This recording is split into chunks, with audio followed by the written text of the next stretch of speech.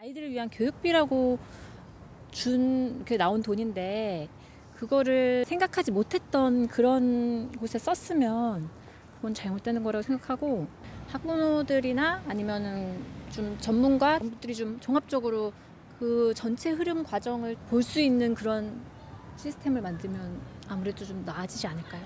저는 아무래도 국공립이 조금 더 믿음이 가서 아이는 국공립에 보내는 입장인데 강화시키고 뭐 절차를 더 한다고 해도 어떻게든 서류로는 조작을 할 수 있고 만들 수 있으니까요. 그게 뭐 근본적인 해결은 안 될 것 같고 애들이 또 피해보는 입장이 되니까 애들 키우는 부모 입장으로 믿고 보낼 데가 정말 없다는 거죠. 뭐 유치원 내에서만 감사를 하면 사실 지금까지 해왔던 거랑 크게 차이가 없을 것 같아서 뭐 학부모들도 이렇게 참여를 해서 감사를 할 수 있는 그런 시스템이 좀 생겼으면 좋겠습니다.